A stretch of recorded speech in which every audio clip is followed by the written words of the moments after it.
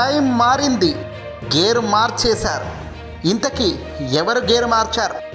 ప్రతిరోజు తన కోసమే పోరాటం చేస్తున్నాను అని చెప్తున్న పవన్ కళ్యాణ్ ఒక్కసారిగా జనసేన అధినేత పవర్ స్టార్ పవన్ కళ్యాణ్ ఈరోజు చేసిన వ్యాఖ్యలు తెలుగుదేశం పార్టీని ఇరుకున పెట్టేలా చేస్తుంది.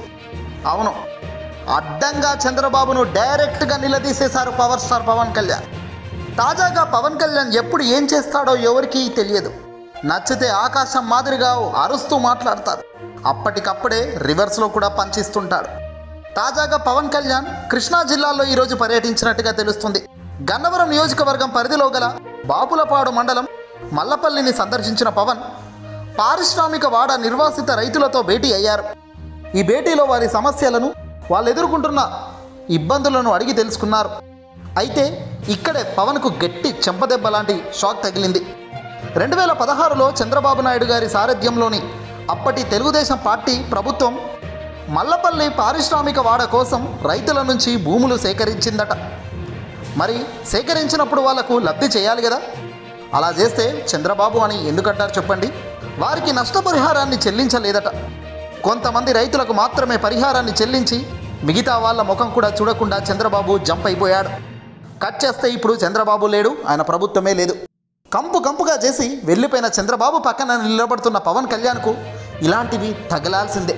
ఒక్కసారిగా కంగు తిన్న పవన్ రివర్స్ గేర్ వేసేశాడు ఇక్కడ. తమకు న్యాయం చేయాలని నష్టపరిహారాన్ని చెల్లించాలంటూ మల్లపల్లి పారిశ్రామిక వాడ నిర్వాసిత రైతులు ఆందోళన చేస్తూనే వస్తున్నారు. కానీ తెలుగుదేశం పార్టీ ప్రభుత్వం ఎప్పుడు కూడా వాళ్ళను పట్టించుకోలేదట. దీనిపై పవన్ కళ్యాణ్ తాజాగా కీలక వ్యాఖ్యలు చేశారు. నిర్వాసిత రైతులను కలుసుకున్న పవన్ వారి ఆందోళనకు మద్దతుగా ప్రకటించారు. అండగా ఉంటాను అని అన్నారు. ఇదే సందర్భంలో చంద్రబాబు హయాంలో ఇక్కడ భూములను ప్రభుత్వం తీసుకుంది. ఇప్పటికీ వారికి పూర్తి స్థాయిలో పరిహారం దక్కట్లేదని అన్నారు. కొంతమందికే పరిహారం లభించిందని పేర్కొన్నారు.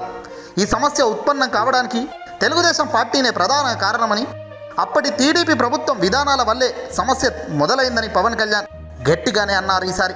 ఒక కులం వారికే టీడీపీ ప్రభుత్వం నష్టపరిహారం ఇస్తే ఎలా? అంటూ పవన్ కళ్యాణ్ నిలదీశాడు. ఇదేంటిది? పవన్ నోట ఇదేం వ్యాఖ్య అని అనుకున్నాం మొదట. కానీ ఒక్కసారిగా అంతా కంగు తిన్నాం. ఒక కులం వారికే తెలుగుదేశం పార్టీ ప్రభుత్వం నష్టపరిహారం ఇస్తే ఎలా?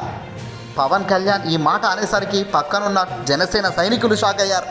అదేంటి మన పార్టీనైనా దూషిస్తున్నాడు అన్న రేంజ్లో వాళ్ళు ముఖం పెట్టారు.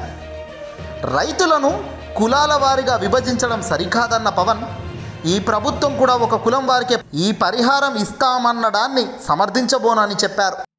ఇక్కడ జగన్మోహన్ రెడ్డి గారి ప్రభుత్వం ఎప్పుడైనా కులం చూసో మతం చూసో జెండా చూసో పరిహారం ఇచ్చిందా? అలా ఎప్పుడు ఇవ్వదు. స్వయంగా కలెక్టర్లకే కీలక ఆదేశాలు ఇచ్చిన జగన్ మనకు ఓటు వేయని వాడికైనా సరే అర్హత ఉంటే వాడు లబ్ధిదారిగా వాడు పొందాల్సినవి పొందాలి అని జగన్ ఎంతో కరాఖండిగా చెప్పారు గతంలో. మరి నువ్వు నమ్మే పార్టీ ఓడే కదయ్యా నువ్వు నమ్మే సిద్ధాంతాలే కదా అవి. నీ తెలుగుదేశం పార్టీ కోసం చంద్రబాబు కోసం ఢిల్లీ వేదికగా యుద్ధం చేస్తున్నావు నువ్వు. ఇప్పుడు చెప్పు సమాధానం. తెలుగుదేశం పార్టీలో ఉన్నవాడు ఒక్కడైనా మంచివాడా? టీడీపీ చంద్రబాబు నాయుడు అమాయకులను చూసి రైతులను ఎంత దారుణంగా మోసం చేశాడో చూసావు కదా? ఇలాంటివి కోకెల్లలు చేసిన చంద్రబాబు ఇప్పుడు నువ్వు అదంతా తెచ్చి జగన్ ప్రభుత్వంపై రుద్దే ప్రయత్నం చేస్తున్నావు. కోర్స్ వాళ్ళకు న్యాయం చేయాల్సింది జగనే. చేస్తాడు కూడా. చంద్రబాబు ఏదైతే నాశనం చేసి పోయాడో వాటినన్నిటినీ చక్కదిద్దుతున్న జగన్ ఈ సమస్యను కూడా టేకాఫ్ చేసి తొం తొందరలోనే దీనికి ఒక పరిహారం కూడా క్లియర్ కట్గా అందరికీ వచ్చేలా చేస్తాడు. అది నువ్వు చెప్పినా జగన్ చేస్తాడు. అది జగన్ మంచితనం. ఇక్కడ జగన్ కేవలం మంచి జరుగుతుందా ప్రజలకు కాదా అన్నది మాత్రమే చూస్తాడు. నీ మాదిరి రాజకీయాల కోసం పక్క పార్టీలో కోసం కొమ్ము కాసే వ్యక్తి కాదు జగన్. అది ఆయన స్టామినా. అందుకే మంచి ఎప్పుడైనా మంచిగానే గెలుస్తుంది అన్నది మేము అందుకే.